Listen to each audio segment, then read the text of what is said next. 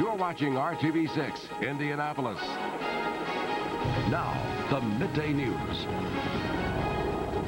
Two people are dead this midday, a father and a son, and dozens of people knew what was happening but couldn't do anything about it.